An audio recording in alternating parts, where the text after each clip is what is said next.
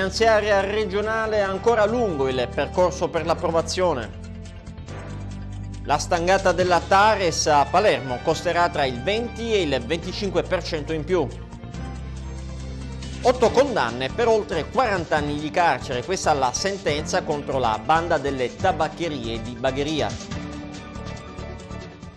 Buon pomeriggio, bentrovati, questa è Media News, oggi venerdì 19 aprile. Parliamo in apertura della finanziaria regionale, il presidente dell'Assemblea regionale siciliana Giovanni Ardizzone da Roma ha dichiarato inammissibili i quattro degli articoli del maxi emendamento. Il testo rimane comunque rivolto alla riduzione della spesa, vediamo. Dopo la bocciatura in Commissione Sanità, il no questa volta arriva anche da Roma e proviene dal presidente dell'Ars Giovanni Ardizzone, impegnato con Crocetta nelle votazioni del Presidente della Repubblica.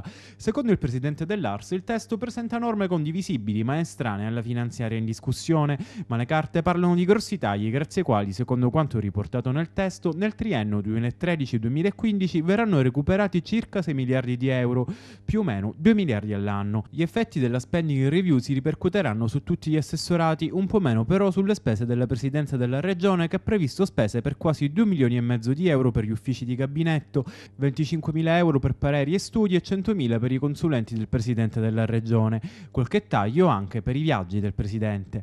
Ridotti i fondi anche per il sociale, come i centri antiviolenza per le donne, le scuole, le università e la cultura, sono diminuiti di molto i fondi per i teatri.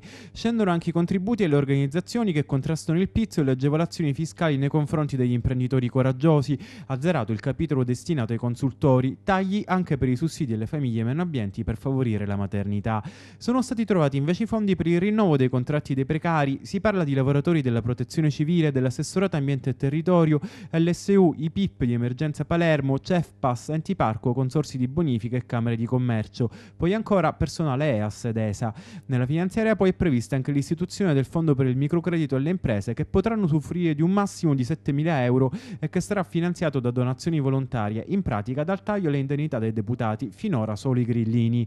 Oggi l'Ars lavora in commissione bilancio che, per rispettare i tempi strettissimi, sarà impegnata anche sabato e domenica. Oltre un migliaio di edili della CISL sono scesi in piazza oggi per la mobilitazione straordinaria di protesta indetta dalla Filca CISL Sicilia insieme con la CISL Sicilia, il presidio davanti alla sede della presidenza della regione eh, Palazzo d'Orlean. Con questa mobilitazione, ha detto Maurizio Bernava, segretario generale della CISL Sicilia, noi vogliamo fare irrompere la sofferenza del lavoro produttivo nelle stanze della politica. Il governo regionale su questo ha chiuso gli occhi e a oggi non abbiamo compreso quali siano le strategie che intende adottare per rilanciare lo sviluppo vero della Sicilia a partire dal comparto delle costruzioni. Secondo il segretario della CISL, l'esecutivo regionale non deve perdere tempo e deve aprire immediatamente un tavolo permanente sull'emergenza dell'edilizia. Accelerare l'utilizzo delle risorse europee già stanziate disponibili 41 milioni di euro per la Sicilia attraverso il piano d'azione coesione PAC-ADI che altrimenti verrebbero reindirizzati. E questa la richiesta avanzata dai sindacati dei pensionati di CIGEL, CISL, WIL, SPI, FNP e WILP che riuniti a Palermo hanno affrontato i temi legati alla spesa della somma da destinare ai servizi per gli anziani non autosufficienti, in primo luogo all'aumento dell'assistenza domiciliare integrata. Il rischio vero è che questi fondi vadano perduti per la nostra isola, sottolineano i sindacati, gli stanziamenti quindi verrebbero reindirizzati verso altre linee di intervento. In Sicilia oltre il 67% dei pensionati vive con una media di appena 500 euro al mese. Un ingente schieramento di forze dell'ordine ha cinto d'assedio tutta l'area intorno alla base NRTF della Marina Militare Americana in contrada Ulmo a Niscemi, impedendo ai cittadini italiani di muoversi liberamente nella zona. Così il coordinamento regionale dei comitati Nomuos in una nota diramata questa mattina in cui si denuncia che lo scopo evidente di consentire il transito di un convoglio composto da diversi mezzi che trasportano operai, tecnici e materiali diretti al cantiere Muos in barba alla revoca delle autorizzazioni. Nonostante le difficoltà proseguono i Nomuos, attivisti e mamme sono riusciti a impedire il passaggio di quattro mezzi. Ricordiamo a tutti, concludono, che continuare i lavori dopo la revoca delle autorizzazioni è reato e chiediamo che mandanti ed esecutori materiali di tale reato siano perseguiti dalla legge. Cambiamo argomento, la stangata della Tares a Palermo infatti costerà tra il 20 e il 25% in più rispetto alla Tarsu. La stangata in arrivo della Tares a Palermo peserà sulle tasche dei contribuenti del 20-25% in più rispetto alla Tarsu. Per un appartamento di 100 metri quadrati si può ipotizzare una Tares di 264 euro contro una Tarsu di 218. Sono alcune delle anticipazioni di uno studio nazionale redatto dalla Feder Consumatori che mette a confronto le tariffe e servizi di gestione rifiuti urbani nelle principali città capoluogo d'Italia. Il nuovo tributo per il trattamento dei rifiuti solidi urbani che si dovrà pagare per qualsiasi tipo di locale o area scoperta scatterà a partire da dicembre 2013. Una batosta che colpirà le tasche dei cittadini e che creerà nuovi disagi alle fasce di reddito più basse e già fin troppo tartassate dichiara il segretario della CGL di Palermo Maurizio Calà. Chiediamo per questo la tutela del reddito, la riorganizzazione del sistema dei rifiuti, garanzie per i lavoratori e l'utilità del servizio di raccolta di rifiuti erogato che in questo momento a Palermo rappresenta l'emblema del fallimento. La batosta è solo rimandata, aggiunge Lillo Vizzini, presidente regionale di Federconsumatori. Dai calcoli che abbiamo fatto si ipotizza che il nuovo balzello della Tares costerà più del 20% in più della Tarsu, con punte che potrebbero arrivare al 30%. Se in Sicilia si continuerà a conferire il 90% del rifiuto in discarica, la nuova tariffa risulterà molto più pesante. Chiediamo quindi la partenza immediata della raccolta differenziata e un trattamento dei rifiuti a chilometri zero, con dei centri di raccolta vicino alla città organizzati con la presenza di silos dotati di microchip per creare un sistema di premialità. La FIOM nazionale e la CGL di Palermo, alla luce degli arresti e dei sequestri scaturiti dall'indagine sulle infiltrazioni mafiose al cantiere navale di Palermo e sul territorio nazionale, ravvisano la necessità di predisporre un protocollo nazionale di legalità presso il Ministero dell'Interno con le prefetture interessate, il sindacato e Fincantieri. Per costituire, si legge, un sistema di controllo e monitoraggio in una logica nazionale del sistema degli appalti della Fincantieri e per fronteggiare con una maggiore consapevolezza e conoscenza le possibili infiltrazioni criminali. E adesso ci fermiamo per una breve pausa, tra poco.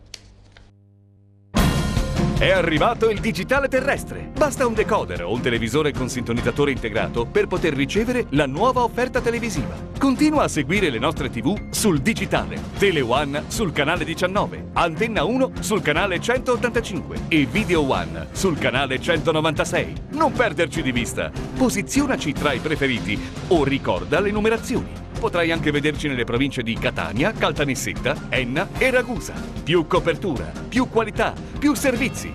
Seguici sul digitale terrestre. Otto condanne per oltre 40 anni di carcere, questa è la sentenza contro i componenti della banda delle tabaccherie e non solo, che è stata attiva per alcuni mesi a Bagheria, vediamo. In pochi mesi misero a segno nove rapine, mettendo in agitazione i commercianti di tutta Bagheria, specialmente i tabaccai. Il giudice Vittorio Anania non si è risparmiato e ha condannato otto persone: Giovanni Bravo a cinque anni, Francesco Croce a tre anni e quattro mesi, Nicolo Lanza a due anni e sei mesi, Gregorio Mineo a cinque anni. Mirko Talamanca a 5 anni, Rosario Schillaci a 7 anni, Emanuele Schillaci a 7 anni e Luca Vella a 4 anni. E poi c'è una donna imputata in un altro processo che avrebbe utilizzato il figlio piccolo per facilitare la realizzazione delle rapine. Insospettabile, entrava con il bimbo piccolo nelle tabaccherie come una normale cliente e invece era lì per studiare i luoghi in vista del prossimo colpo. Nel mirino erano finiti la tabaccheria del corso, bersaglio di tre rapine, il super cinema, il negozio di detersivi Futura, un distributore distributore di benzina Q8, la rivendita di tabacchi Salerno e gli sportelli di Credem e Unicredit. Le indagini dei carabinieri sono state notevolmente agevolate dai sistemi di videosorveglianza. Secondo il giudice, la mente della banda sarebbe stato Rosario Schillaci che nella sua fedina penale annoverava già vari precedenti per reati contro la persona e il patrimonio.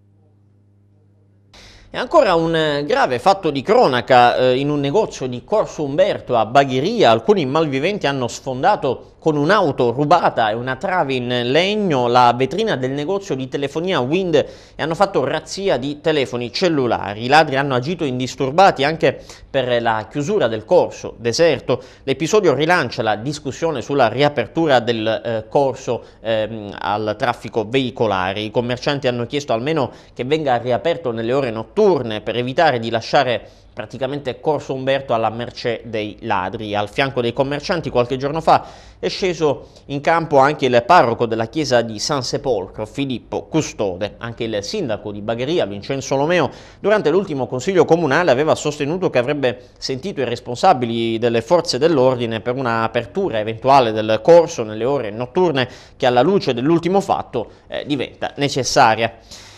Tagliandi falsi per parcheggiare sulle strisce blu in centro a Palermo, lo ha scoperto la polizia municipale che ha denunciato una donna di 23 anni residente in via della Libertà che avrebbe avuto una vera e propria scorta di ticket non regolari per poter così posteggiare gratuitamente. Il raggiro è stato scoperto da un ausiliare del traffico che nel corso dei consueti controlli si è accorto della cosa segnalando il fatto ai vigili urbani. Da lì è partita l'indagine che poi è sfociata in questa denuncia denuncia. Tagliate le gomme dell'auto eh, del segretario della Filte CGL Gaetano Bonavia. L'auto, una Audi, era parcheggiata davanti alla sede Amat di via Roccazzo. il danneggiamento eh, quattro, delle quattro ruote risale a questa mattina. Nell'arco di un mese è il secondo atto intimidatorio che segue quello subito a fine marzo dal segretario della CISL Trasporti Salvatore Girgenti. Entrambi sono avvenuti dopo la firma dell'accordo sindacale siglato il 20 marzo scorso tra la l'azienda e CGL, Will, Cisal e Orsa con l'opposizione di due sole sigle UGL e Cobas che ha previsto la riorganizzazione dell'officina con l'eliminazione dei turni notturni. Cambiamo argomento, si è tenuta questa mattina la marcia delle scolaresche bagheresi per commemorare padre Pino Puglisi in vista della sua beatificazione. Ascoltiamo.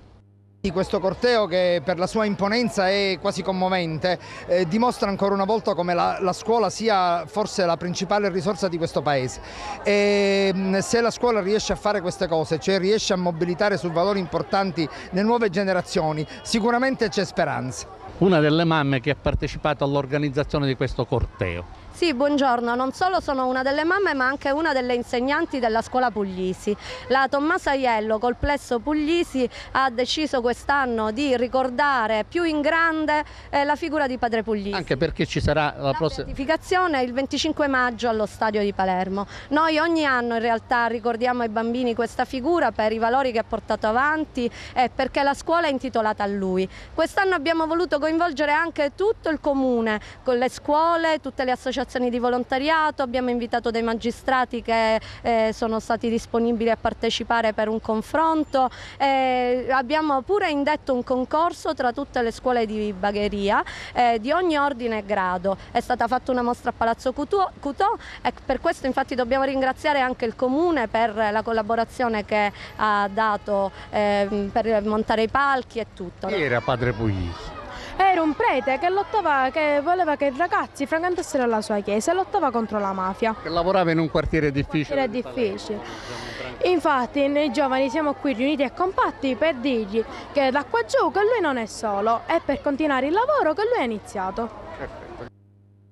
Sarà al momento sospesa l'efficacia delle lettere di licenziamento notificate ai 190 lavoratori a tempo determinato del Coinres, il consorzio che gestisce la raccolta dei rifiuti nella provincia di Palermo, fino a quando l'avvertenza sarà affrontata definitivamente nel corso di un vertice che si terrà il prossimo 2 maggio nella sede dell'assessorato all'energia alla presenza dell'assessore Marino, dei sindaci, dei vertici del consorzio e delle parti sociali. A renderlo noto è Francesco Francesco Ferrara, segretario provinciale della FIT CISL. E adesso ci fermiamo per una seconda pausa pubblicitaria tra poco. È arrivato il digitale terrestre. Basta un decoder o un televisore con sintonizzatore integrato per poter ricevere la nuova offerta televisiva. Continua a seguire le nostre TV sul digitale. Tele One sul canale 19, Antenna 1 sul canale 185 e Video One sul canale 196. Non perderci di vista. Posizionaci tra i preferiti o ricorda le numerazioni. Potrai anche vederci nelle province di Catania, Caltanissetta, Enna e Ragusa. Più copertura, più qualità, più servizi. Seguici sul digitale terrestre.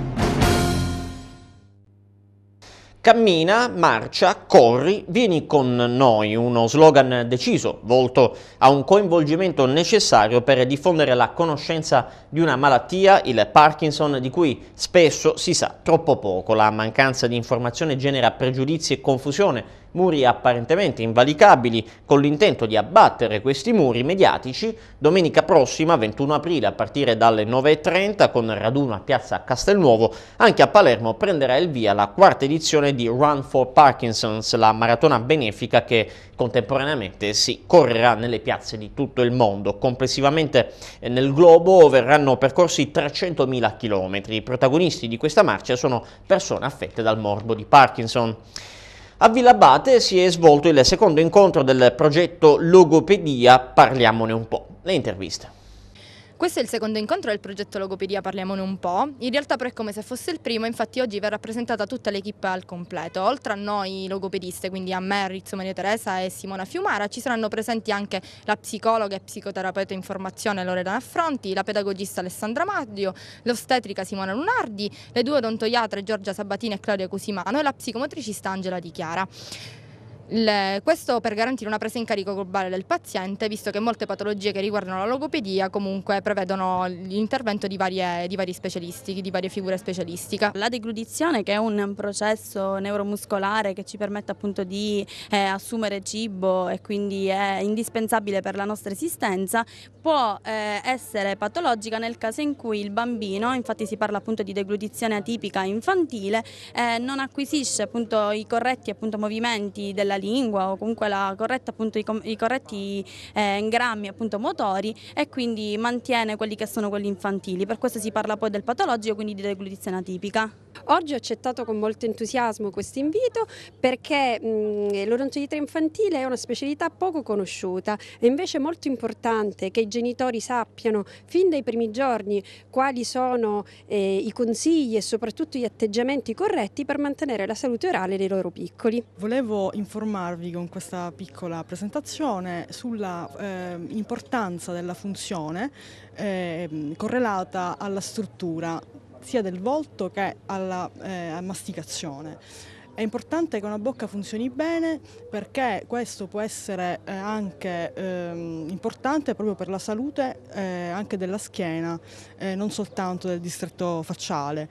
È strettamente correlata la funzione masticatoria anche alla respirazione, oltre che alla fonazione e quindi per lo sviluppo di un bambino è fondamentale attenzionare questo problema nei particolari e nei dettagli perché una diagnosi accurata ci permette anche una terapia accurata e mirata.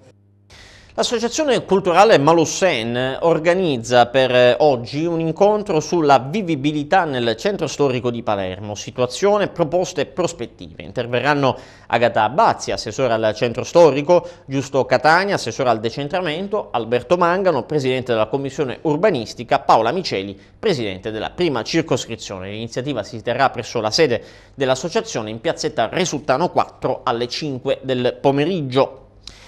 Voltiamo pagina, oggi esce Rewind, il disco d'esordio dei vincitori del premio internazionale Massimo Urbani 2012, e cioè il trombettista Giacomo Tantillo e il sassofonista Francesco Patti. Disponibile nei negozi tradizionali su iTunes e negli altri digital store, Rewind vede come ospite d'eccezione il batterista Stefano Bagnoli. Abbiamo ascoltato Giacomo Tantillo Musicando Jazz Record che ci ha dato la possibilità di incidere questo disco e quindi eh, abbiamo deciso insieme a Francesco Patti di eh, realizzare questo disco in quintetto, una formazione in quintetto standard jazz.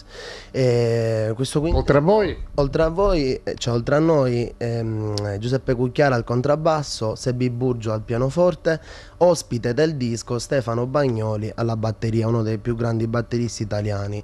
E, ehm, Senti, una domanda ti volevo fare, si tratta di brani nuovi o avete rielaborato dei classici del genere? Allora, riguardo al repertorio abbiamo inserito un brano di mia composizione e un brano di Francesco Patti, quindi abbiamo due brani inediti e sei standard che appunto ehm, eh, diciamo dei, degli standard passati ecco, della tradizione eh, antica ehm, come eh, compositori come Charlie Mingus, Chet Baker, Joe Beam dei brani appunto rivisitati con qualche piccolo arrangiamento ma che mantengono comunque la tradizione Finale fissata per questa sera alle 20 nella sala Super Cinema di Bagheria. Il Festival Artista 2000 è ripartito con entusiasmo ed energia grazie all'iniziativa di Gio Puleo e Paolo Ventra, vincitori di Sanremo Giovani nell'edizione del 1983. Dopo le selezioni e le semifinali, oggi sarà decretato il vincitore che potrà